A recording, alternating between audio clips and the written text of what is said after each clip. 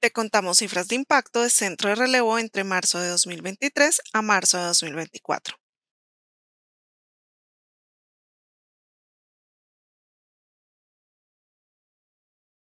Los servicios de relevo de llamadas y CIEL prestaron el siguiente número de comunicaciones.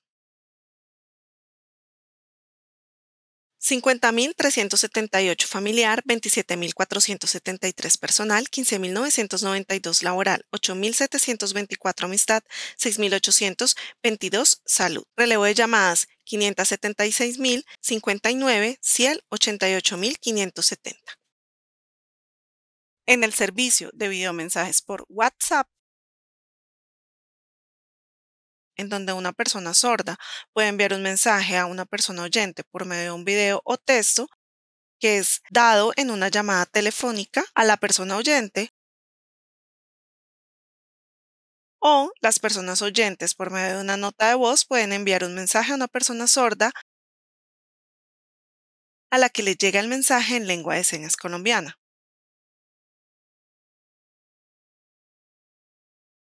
Este servicio prestó en este periodo el siguiente número de comunicaciones.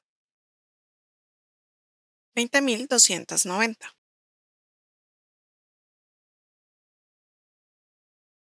La línea de atención al usuario atiende usuarios sordos y oyentes que dejan sus preguntas, quejas, reclamos y felicitaciones.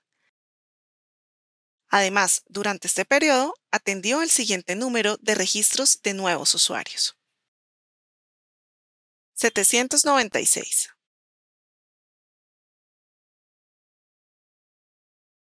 Es un derecho de las personas sordas comunicarse por medio de la lengua de señas colombiana. Y Centro de Relevo, por medio de sus servicios y línea de atención al usuario, contribuye a que puedan ejercer este derecho. Total de comunicaciones de personas sordas en Colombia, 664.629.